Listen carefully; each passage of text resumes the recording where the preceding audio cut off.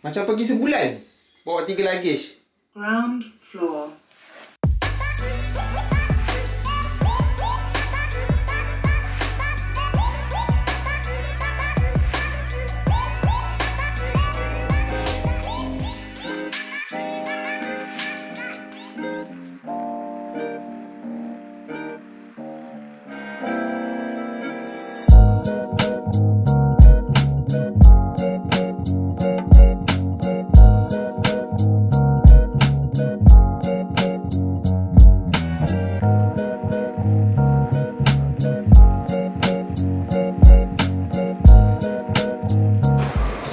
Fast check in.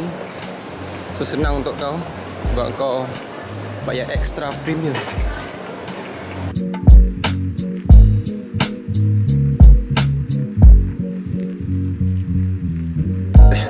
International flight ni tu lah cerita dia. Kau nak kena boarding, kau nak kena check in semua kan. Tapi semua tu okey lah, aku happy lah. Hari ni banyak benda dipermudahkan Walaupun aku lambat. Tapi ya butler tadi pun Dekat hotel tadi tolong aku pergi airport Pergi apa ni train station. Lepas tu daripada train station Ada orang assistant daripada Qatar Airways Tolong aku carry bag. So macam best lah. You pay for the premium kan So that's why aku rasa dia mahal lah So berbaloi lah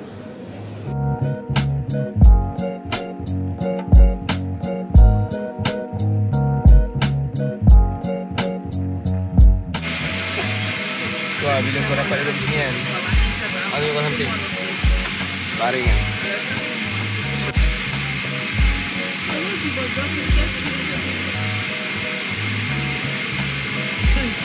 Gila Kenapa tu? Kita nak. Aku nak, aku nak balik Aku nak, aku nak dibalik Aku nak dibalik Ah.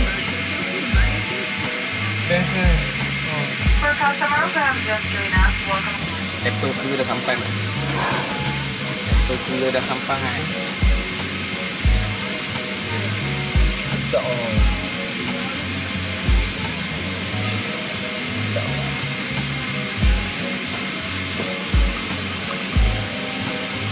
Tak pernah mengecewakan. Aku nak order makan. Lapar lagi babe. Ni kalau ni kita nak order, aku nak order banyak gini. Aku nak lenjan ni. Ha, bawa banyak aku boleh makan ni. Aku dah try apple cooler. Aku dah nak try pineapple punch. Wine basically man. Oh, siapa yang minum wine tu kan? Solong man. So don't worry lah, apa aku order apple cooler ni halal lah. Sebab dia tulis ni lah. Luxury non-alcoholic. Ha.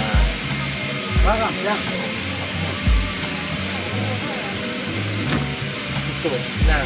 Kau tak nampak? Untuk starter kan. Aku nak choice of cereal. Aku nak Kellogg cornflakes. Nak popcorn. Macam tak popcorn.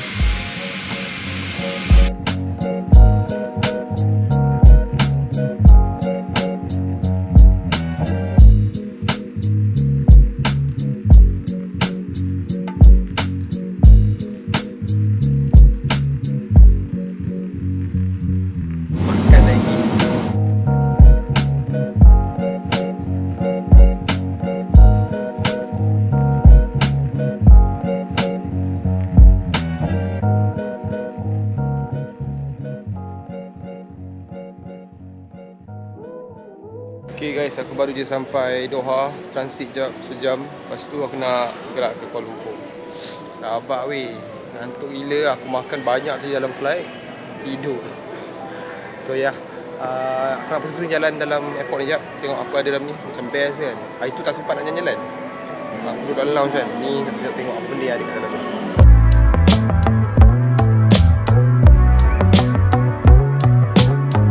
Oh ni ada garden tu Bapak aku siap ada garden.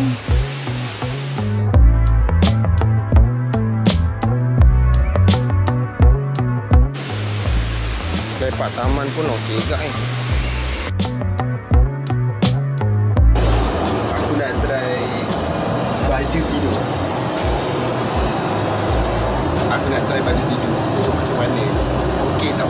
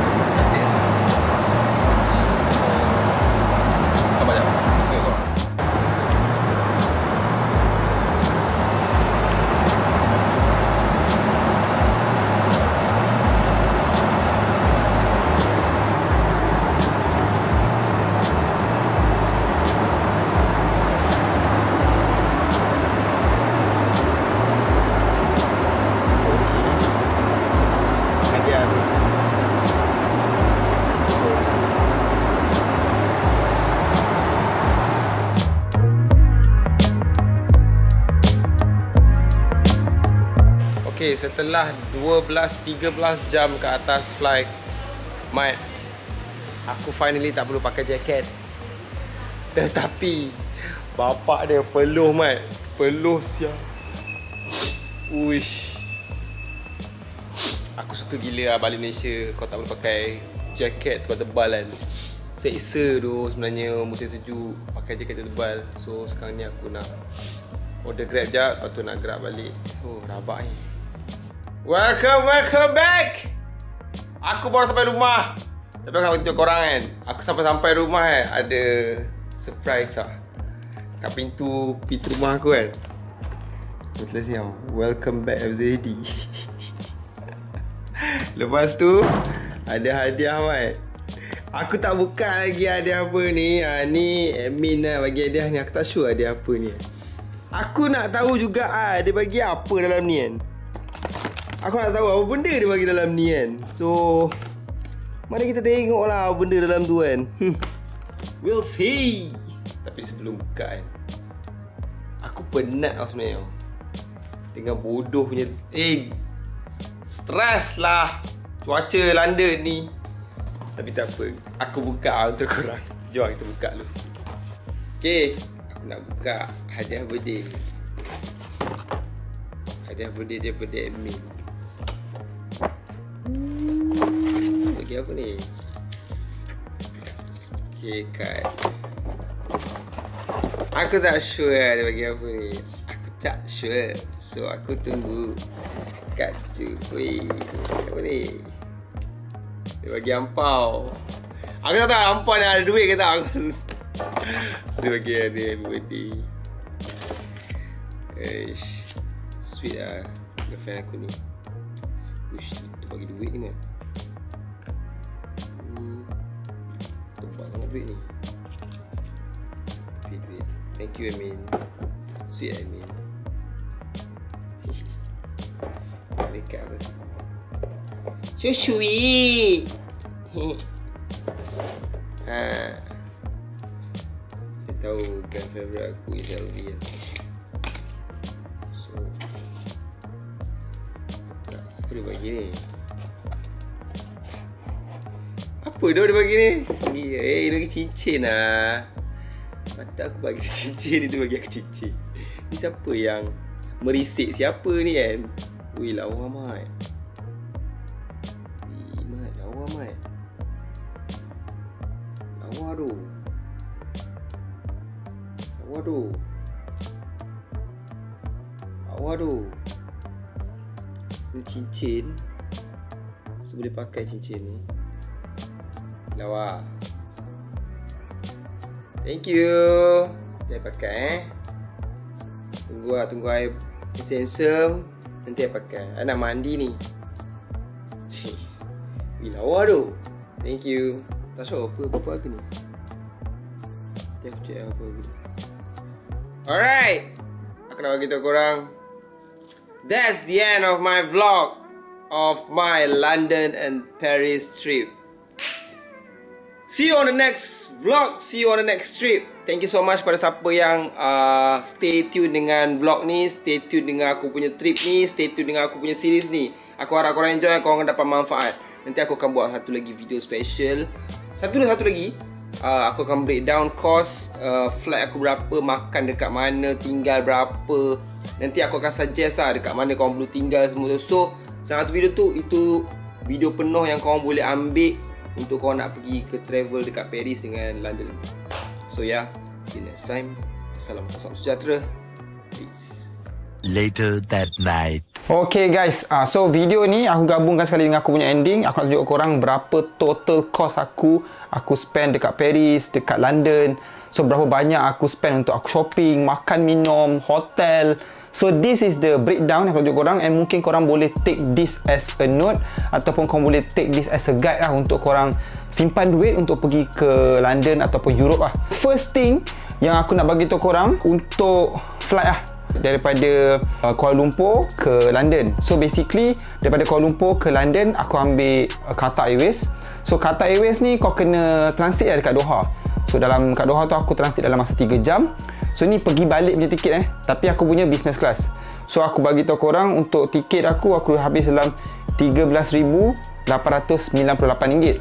Tapi ini pergi balik lah. Uh, and then untuk pergi balik bisnes ni korang boleh je ambil ekonomi. Ekonomi dalam RM3,000 ke RM4,000. Depends pada flight lah. Contoh macam Malaysia Airlines, uh, SIA, Singapore Airlines ataupun KLM. So itu antara flight-flight yang korang boleh research and boleh dapat dengan harga very very good deal lah. Ada hari tu aku tengok member aku dapat dalam 3000 lebih pergi balik daripada Kuala Lumpur ke London. So ni antara option aku beritahu korang. So untuk tiket flight aku habis dalam 13898 ringgit. And then sampai dekat London aku ambil Heathrow Express. So Heathrow Express ni daripada London punya airport sampai ke London Paddington ambil masa 15 minit je. Tak perlu ambil train tukar-tukar. Kau terus je pergi ke London Paddington. So itu dalam RM206 pergi balik lah. So basically aku pergi daripada London uh, airport ke London Paddington and London Paddington pergi ke airport balik waktu aku nak balik ke Malaysia nanti. So aku habis dalam RM206 So ini total as for now and then aku spend dalam 20 pound untuk train dekat uh, London. So basically aku ada card Oyster yang aku selalu pakai tu. So aku top up dalam 20 pound untuk aku pakai around London lah. So itu dalam RM112. So and then Uber. So Uber ni aku pakai dekat around London lah. So dalam RM96 selama aku kat London. Aku kadang-kadang pakai Uber juga, kadang pakai train. And then dekat Paris aku pakai Eurostar train. So daripada London ke Paris aku ambil Eurostar train and then daripada Paris ke London pun aku naik train juga which is aku habis dalam RM1659.66 sen. Ha, so ni antara total transportation sahaja. Tapi kau boleh reducekan cost waktu dekat nak pergi Paris lah. Sebab apa? Daripada London pergi Paris ada yang murah. Ada dalam uh, 30 euro ataupun 40 euro pergi balik. Ha, kau kena tengok good deal lah dekat EasyJet ataupun satu lagi flight apa aku lupa nama dia. So itu antara another option lah. Kau boleh naik flight. Flight sebenarnya lebih murah kalau kau nak pergi ke Paris. So untuk naik train ni sebab apa? Dia lebih mudah kau. Kau tak payah nak fikir nak pergi airport kau tak payah nak fikir transit semua. So kau naik train kau terus sampai ke Paris punya city. So tu cost untuk flight saja ataupun untuk transportation sahaja. So untuk hotel. Untuk hotel aku stay dekat uh, London. Uh, mula-mula dua hari aku stay dekat rumah member aku Aiman. And then aku stay dekat Ibis Southwark dalam lima hari itu dalam kos aku dalam 6000 lah. Basically mahal juga lah sebenarnya sebab uh, Ibis Hotel tu kira macam ok juga lah. Senang and then tengah-tengah bandar semua. Korang boleh je pilih Airbnb. Lagi murah macam last time aku buat Euro trip last time. Aku duduk dalam 5 hari kat London atau 6 hari. Aku just bayar 800-900 ringgit je sebab aku ambil Airbnb. Tapi dia luar outskirt lah. Nak pergi ke London dalam masa sejam. Ha, itu antara ada option yang korang boleh pilih. Kali ni aku duduk tengah-tengah bandar so mahal sikit lah, dalam RM6,000. And then aku pergi hotel dekat Paris. So Paris aku duduk 3 malam. 3 malam aku habis dalam RM1,535.64 So itu kos waktu aku kat Paris. Tapi aku tontong dengan Aiman lah. So Aiman bayar separuh, aku bayar separuh Sebab hotel kan. So itu antara jimat lah. Sebab kalau pergi travel berdua Kalau travel seorang memang mahal lah. Sebenarnya Hotel yang aku duduk kat London ni Sebenarnya kau boleh kurang kepada RM3,000 Ataupun RM2,000 seorang sebab aku pergi seorang so tu aku kena bayar full. Kalau kau pergi dengan 2-3 orang kawan kau aku rasa kau boleh cut off banyak gila lah.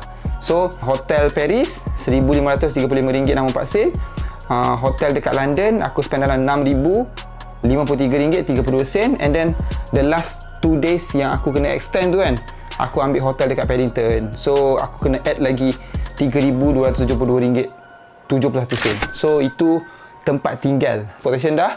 Tempat tinggal pun dah So ini makanan eh. Ni makanan selama aku dekat uh, trip lah. Ni makanan selama aku dekat trip semua yang aku spend. Aku makan kat Laksa London, aku makan kat Tokyo, Tokyo Soho, Monmouth Coffee, Kitchen Paris, Novotel Paris, dekat Keith Treats. Lepas tu ada a few lagi. So basically aku habis dalam RM740.55. Ha, ini tak termasuk dengan cash kat tangan aku lah. So dekat cash tangan aku, aku tukar cash dalam 200 euro je. Tak banyak pun, 200 euro je. Ha, and then pound aku tukar dalam 300 pound. So dekat situ aku just spend dalam 1900 ringgit. So 1900 ringgit tu tak habis pun sebenarnya. Ada lagi a few cash. So just to put into the duit, duit cash tu, aku dalam 1900 campur 740 ringgit 55 sen. Tu antara kos makan aku lah dekat Paris, dekat dengan London. So ni another part which is tiket lah, tiket ataupun macam kau nak pergi masuk stadium ke ataupun nak pergi mana-mana yang perlukan tiket. So contohnya aku pergi stadium Paris Saint-Germain dekat Paris, uh, itu aku spend dalam 25 euro, convert RM119.26 sen. And then tiket MU eh, ni tiket MU eh. Tiket MU lawan Arsenal, hari tu aku habis dalam du- 383 pound, convert dalam RM2086.40 So itu tiket Paris visit tour. Lepas tu ni tiket game Arsenal. And then satu lagi Aku bayar RM193 uh, Untuk tiket eSIM lah. Uh, Yang macam SIM card aku ni Aku kena bayar RM193 So aku tak perlu tukar SIM card. Aku just tukar eSIM sahaja. Uh, So aku just tukar dekat configuration handphone. So aku tak payah buka SIM card aku yang sekarang ni. Uh, So itu aku spend dalam RM193 And then aku tambah lagi RM91.50 untuk aku punya insurance.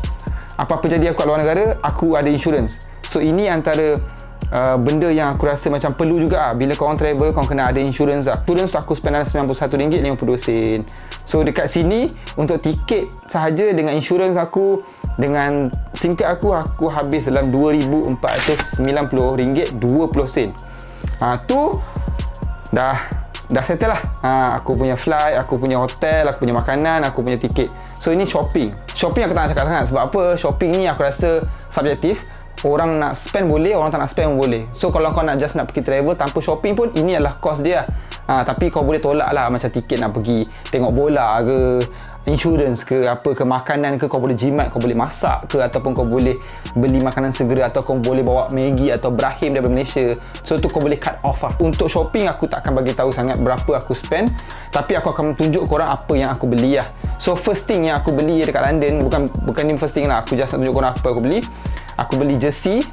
Uh, jersey England old school punya. Aku beli warna biru satu. Uh, ini. Dengan warna hitam satu Ha yang ni.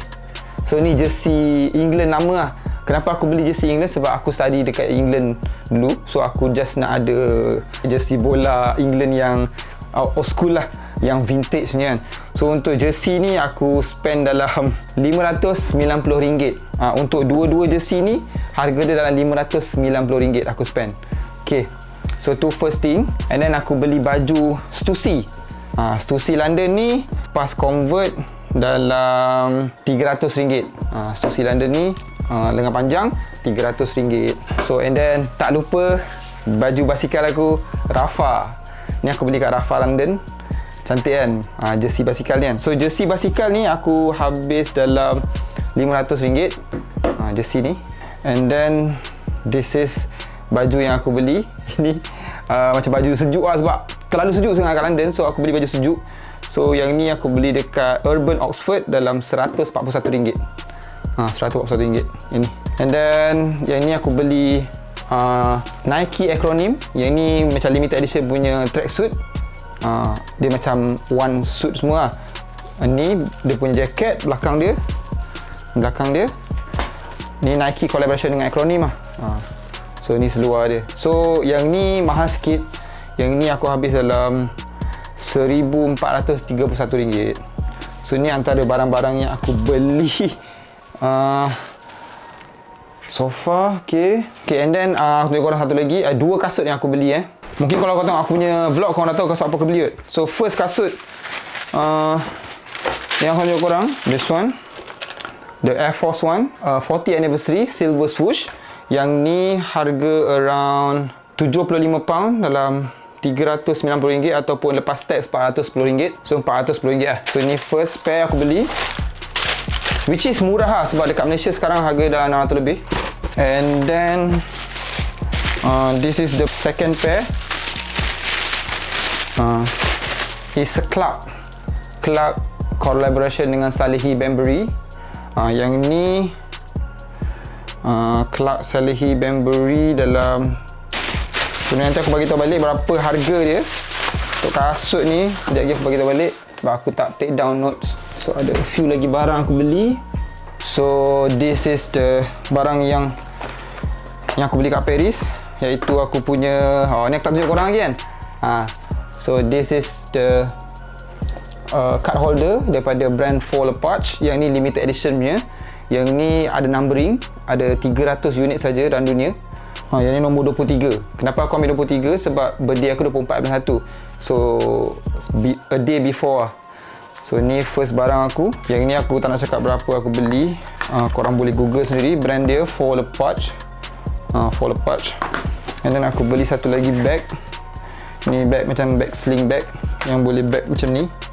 Uh, so brand Fall Apart juga. Uh, dia macam goyak sikit tapi nice lah untuk ada uh, put in my collection lah. And then uh, bag ni bag kahat WIP ni uh, bag kahat ni dalam 20 pound je. 20 pound je. So 20 pound around uh, 109 ringgit. Uh, murah lah. And then jersey Arsenal. Jersey training kit Arsenal ni uh, ni jersey Arsenal ni. Yang ni jersey Arsenal dengan aku beli scarf scarf Arsenal. Waktu tengok game hari tu so yang ni aku habis dalam RM365 scarf dengan jersey. And then topi. Topi Emiliondo aku habis dalam 45 pound so Emiliondo berapa? RM246. Topi RM246. And then topi dekat Rafa.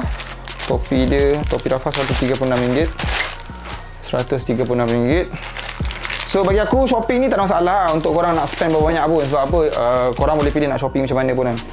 Dan aku beli ni yang ni Nike punya ni dalam 20 euro. Uh, 20 euro tak sure berapa. Uh, yang ni jersey Arsenal. Girlfriend aku belikan waktu aku balik Malaysia. Aku sampai Malaysia baru dia bagi aku. So yeah, thank you Amin. So and then uh, aku beli perfume uh, Diptyque. Uh, Diptyque. Uh, daripada brand daripada Paris. Yang ni diptyque ni harga dalam ha ni mahal sikit. RM463 and then aku beli kok basikal untuk aku punya fix gear. Fix basikal aku. Yang ni dalam 45 pound. And then aku beli satu lagi barang uh, chain black chain. Uh, jet black chain. Izumi. Yang ni mahal sikit 45 pound juga. Itu saja uh, yang aku beli. Okey, aku nak cakap korang macam mana korang uh, boleh beli tiket tengok bola EPL kalau korang nak tengok game bola dekat London macam Arsenal dengan ni kan korang kena beli resell. Korang tak boleh beli retail. Harga retail dia dalam 40 pound ke 50 pound. Tapi korang kena bayar season pass. So season pass ni kau kena duduk sana basically lah kan. Dalam setahun tu tak sure berapa, berapa ratus pound atau berapa ribu pound lah untuk korang spend untuk dapat season pass tu kan. Untuk dapat season pass tu susah lah basically. So apa kau boleh buat? Kau boleh beli resell. Ha, sebab tu aku punya harga tiket bola dalam 2000 lebih ha, apa yang korang perlu buat is korang perlu pergi dekat ok sini aku tunjuk korang. Ha, korang take note eh. Ha, untuk korang tengok bola dekat Arsenal ni ataupun nak pergi mana-mana kan. Ha. so apa yang korang perlu buat is ok korang pergi dekat uh, website nama dia ticket for football ataupun football ticket. Football ticket net Com. Korang boleh beli kat sini. Dekat dalam ni macam-macam game ada. Korang boleh beli Paris Saint-Germain, Beneficia, Sporting Lisbon, Manchester United, uh, Spurs, Arsenal. So, korang tekan dekat situ. Contohnya aku ambil Barcelona punya tiket kan. So dekat view tiket, korang boleh pilih seat mana yang korang nak. So korang boleh pilih seat nak tengok kat atas ke, korang nak tengok kat tengah ke, korang nak tengok kat bawah ke. So different seat tu different harga tau. So harga yang korang tengok tu bukan harga finalize lagi. So bila korang klik dekat harga tu, harga tu contohnya dalam 70 pound, 80 pound. Itu bukan harga betul dia. So bila korang check out, dia akan ada tax dan ada harga yang macam Ha, macam ni macam tax and fees lah So bila korang check Contohnya harga macam aku Punya tiket 280 pound Tapi lepas tax Lepas punya fees punya Ni punya semua Dalam 380 pound So basically untuk korang beli tiket EPL ni korang tak boleh beli retail. Korang boleh beli hanya boleh beli resell. So bila korang beli resell tu benda ni memang trusted don't worry. Takkan ada kes tipu lah. Kecuali korang pergi tengok bola korang pergi dekat stadium lepas orang jual tiket macam ulat tiket kan. Jangan beli macam tu. Korang pergi kat website korang beli and then dua hari sebelum game dia akan email korang uh, code macam ni. Ha, ni ni waktu aku pergi tengok bola itu ni tiket code dia. So tiket code ni owner tu akan bagi kau. So owner tu akan email kau this is ticket. Dekat dalam tiket tu dia takkan har- tunjuk harga tau. So kalau kau tengok eh, dia tak tunjuk harga pun tau dia kosong sebab apa? Orang ni dia dah bayar untuk season pass. So basically season pass ni setiap tiket tu kosong. Kosong pound. So dia bila dia jual kau kena cakap. Contohnya kalau orang yang dekat tiket bola tanya kau uh, where you get this ticket? Kau cakap je it's a present. Sebab kalau kau cakap kau boleh resell orang yang owner yang jual kat kau ni akan ditarik balik season pass je. Uh, dia macam tak legal legal macam tu lah. Untuk kau beli harga retail memang susah harga resell je. Tapi korang boleh bayar dengan harga murah base pada korang punya tempat duduk. And then game apa lah? Macam aku game besar. Macam Arsenal lawan MU game besar game penting So that's why harga dia mahal. So kalau korang tengok macam Arsenal lawan Aston Villa ke Arsenal lawan yang macam tim-tim bawah mungkin murah sikit lah. Tapi kalau korang, korang kena tahu Tiket Arsenal adalah tiket yang paling mahal dalam EPL ha, Paling mahal dalam EPL Tiket Arsenal lah. Arsenal memang mahal. Aku tak tahu kenapa memang tapi Arsenal paling mahal lah. So itu adalah costing aku lah. Ha, So aku just nak korang ambil costing aku dari segi flight Tempat tinggal Makan minum dengan tiket semua tu lah. Tu uh, macam macam shopping tu kau tak payah nak ambil kira lah. Tu memang depends pada kau. So itu saja yang aku nak share dengan korang. Aku harap korang enjoy dengan trip ni. And thank you so much kepada semua yang tonton uh, Trip aku pergi ke London. Semua benda ni lah. So uh, mungkin akan ada next lagi. Next month aku akan pergi ke Paris Aku akan pergi ke Amsterdam Dan aku akan pergi ke Italy. Uh, Aku harap korang enjoy. And till next time guys. And aku harap membantu korang dari segi Apa yang aku tunjuk ni. And aku bukan nak show off Aku just nak bagi tahu korang cost yang aku breakdown. And korang tak perlu ikut pun. Korang boleh cut off mana yang korang rasa tak perlu. Till next time Assalamualaikum warahmatullahi wabarakatuh Peace guys. Okay lupa aku nak bagi tahu korang. Uh, Untuk kasut ni tadi Okay. So untuk kasut ni harga RM840 uh, Yang ini. Uh, Clarks collaboration dengan Salehi Bembury Lepas aku check. This is it